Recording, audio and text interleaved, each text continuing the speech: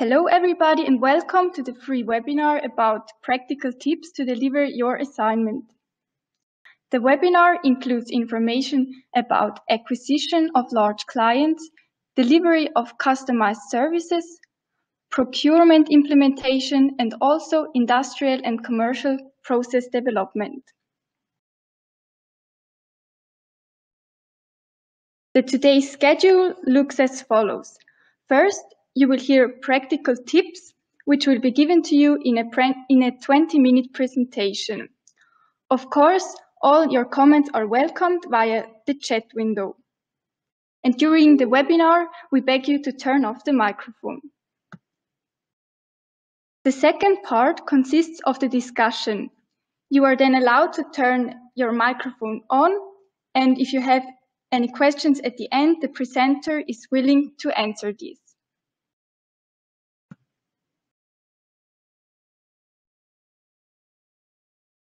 Due to the fact that webinars are broadcast via the internet, some impl implication could appear during the webinar.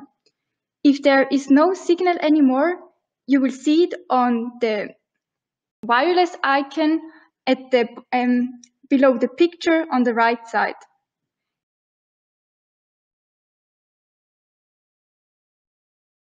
And if this happens, first try refreshing your browser and then try to log in again, please.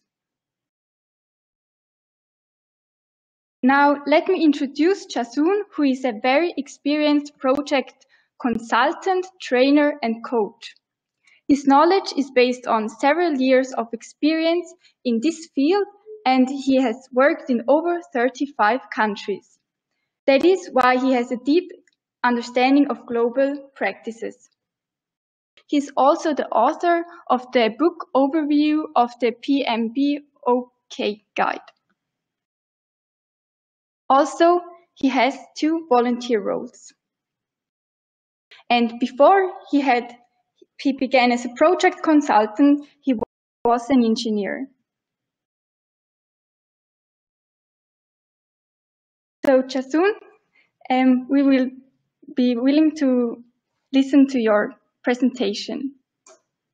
Well, thanks very much indeed, Sharon, for the introduction there.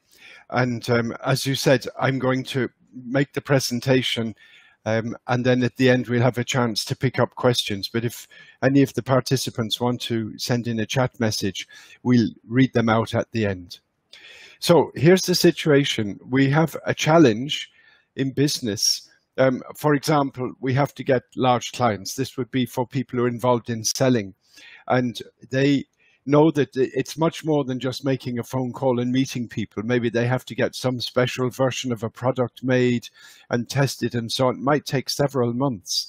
And you, you can do that just by working your way through it. Um, but it makes a lot more sense to think through what you're doing in a situation like that because you can get through it faster. And when that leads to sales, that that's obviously sensible. Another thing is that you might have um, an opportunity to uh, bring your company in conformance with this general data protection regulation. And again, that involves a lot of people who know what to do, but how you get them to actually do it is a big challenge.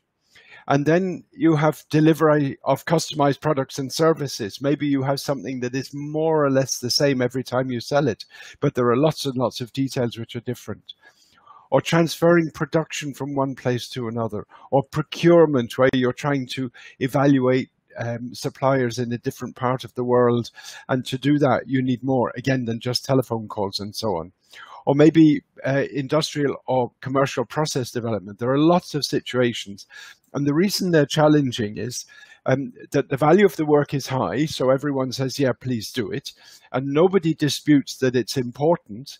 And everyone wants to do the work, but getting everyone else to actually do the work is very difficult. And particularly if you don't have direct authority, which is a very common situation. So um, I'd, I'd ask the question, what business situations you know where it's hard to get things done? And I'd ask you to just put a message in the chat and we'll read those ones out later. But situations where you know where it's like that, that you have something that you're supposed to do. And by definition, a lot of the people that you're interacting with are not in your direct chain of command, particularly if they're somewhere else uh, outside the company. You, you can't just tell them what to do and yet you still have to deliver it. So if you have some examples of that, that would be really good if you'd put them into the chat um, over the next moment or two. So this is the um, a summary of that type of scenario. These are the various things that you need to do, something that must be done. Um, it's too big for you to do it all on your own anyway, even if you wanted to. And anything in business takes different skills. So it's unlikely that you're an expert in everything. And so you have to delegate, but to people who don't, you don't have authority to, to tell them what to do. And it takes a lot of time and effort. So that's the challenge. So we have one message coming in, for example, um, on the uh, on the chat um, about a suggestion of a particular environment similar to that. Um, thank you, Hillary. Establishing a global program, uh, for example, a leadership training to be rolled out globally. That's exactly what I'm talking about. You know what to do. Um, there's a lot of people involved. Everyone says it's very important, but it's very, very hard to actually make it move. So thanks for that um, input. And you, you, the roadblocks are like this it can be very difficult to explain exactly what you want done. Unless you do that, people won't do it. If you tell them in general, I want it, they say, well, come back when you know what you want. So you have to be very, very detailed in saying what you want. And it can be very difficult to say it to the person that you want to do it. Maybe you can't get at them because they live somewhere else or they're in a different organization or something. And then when you've told them, you want to influence them to do it. Maybe they don't want to do it, or maybe their boss says, oh, you're too busy on other things. So you've got several levels of difficulty there. And they're all very obvious sort of things, but unless you get them absolutely right, things don't move forward. So I've got three tips here. One of them is that when you're working out what to do, use this particular sequence to put the information together. Why you want to do it, what you want them to do, then exactly what the work is, then when, and then at the end, who. If you do things in that order, it tends to be a little bit easier to get things moving. So the first thing, as I say, is exactly why and what. People like to know why they're doing it. So just telling them that they have to do it is usually not enough. They have to be told they're part of a big program. And there was a classic case where President Kennedy apparently asked somebody that was sweeping the floor what he was doing. And he said he was putting somebody on the moon and he was working in NASA. So why um, motivates people. And then you have to say what it is we're doing, putting people on the moon. You can't just give generalities like we want more customers or we want people to be happy or something like that. And then um, we have to um, say what the actual work is. So this is the next level of detail. Even uh, if, for example, I said, I want you to organize, um, uh, shall we say, a conference uh, on a particular topic in the company, um, you really need to go into more detail. You need to organize the location, you need to organize the speakers, you need to organize the food. And again, unless you go to that level of detail, um, probably it won't happen. People will not, not quite sure which way to go.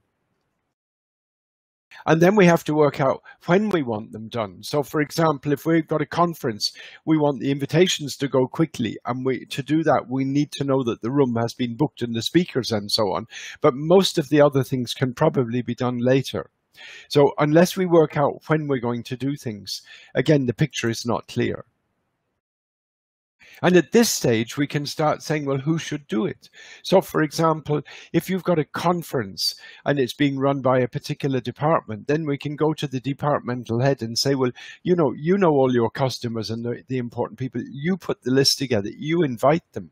But it doesn't make sense to get to that level of detail until actually the overall picture is in place it seems to make it works it tends to work better if we pick people we say, this is what I want done. Will you do that? Rather than saying, I want somebody to help and then trying to work out what to do. So the second tip is to use a single flip chart when you're summarizing your presentation. You, you will put all your ideas together. This is how we're going to do things in this sort of order. These people are there.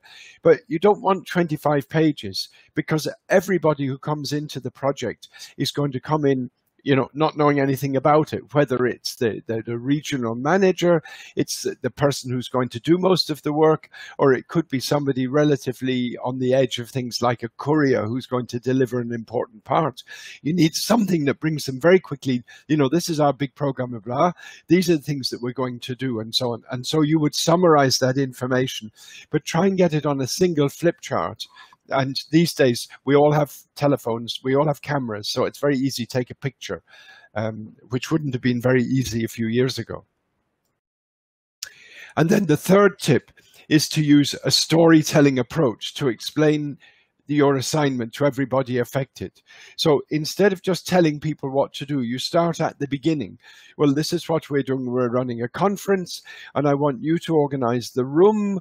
And um, in the context of organizing the room, we need to think about microphones and seating and we've got the contractor who's going to help lay out the chairs. But as far as the microphones are concerned, that's an in-house service and so on. In order, if you explain that in order, then people understand where you're coming from.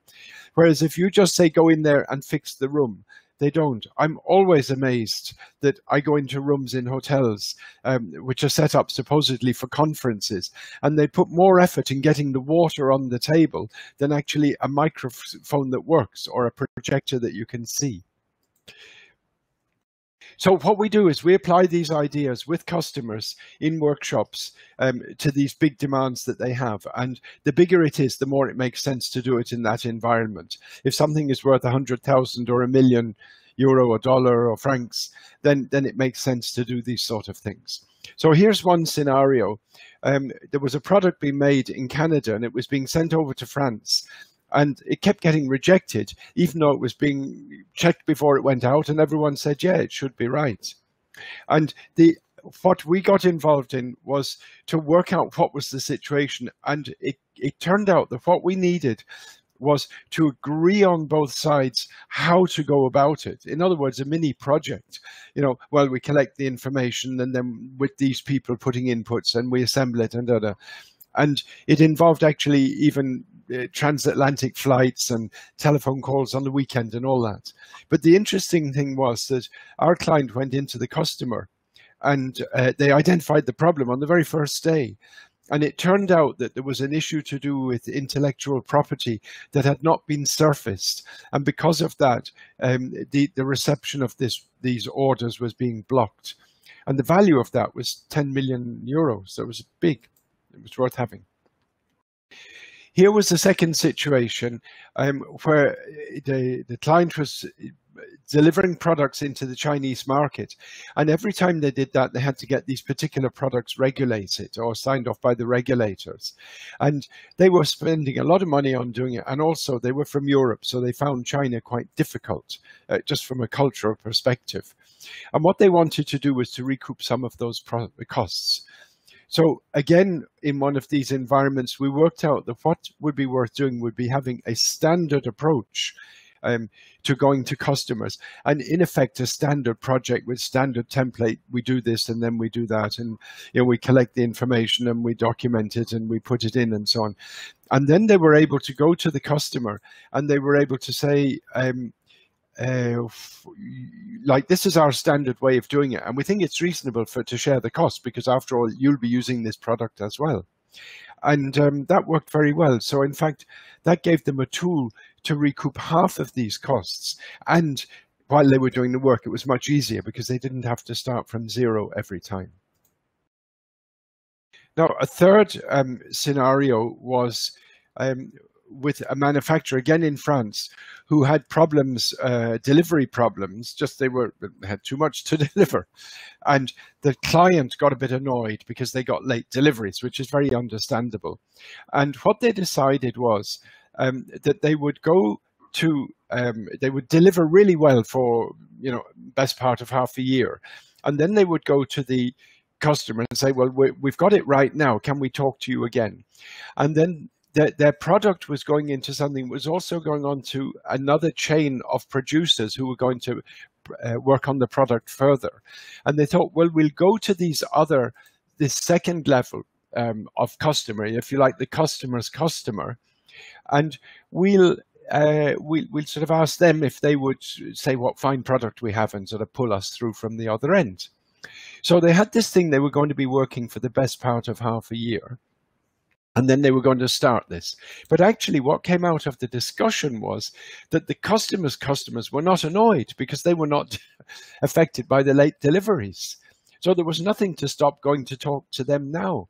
And by doing that, this particular activity of building up relationships with the customer's customer could start 20 weeks earlier. So that's a very, very significant time advantage in any project. Okay, so let's just summarize what the tips are again. Um, one is that if we want something done, we try and pull the information together in this order, in this sequence. We work out why, so we can tell people, you know, we, we're organizing a conference or we're changing the production line from this environment to the other one, whatever. Hmm? And then what in some more detail.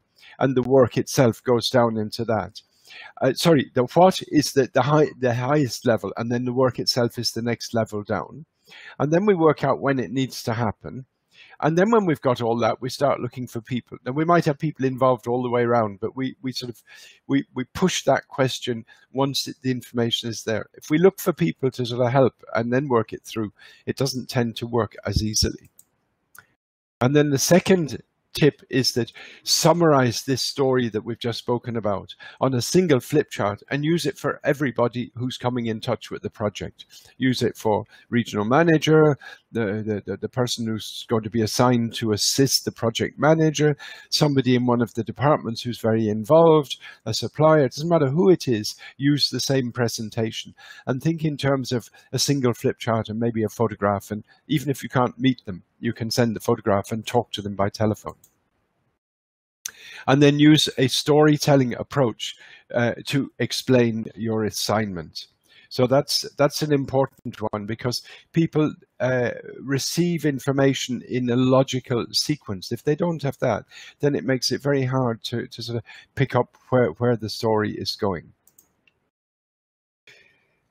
So um, just to summarize then what Scatterwork can do, we have professionals who um, who work with people who are themselves professionals in whatever line of business.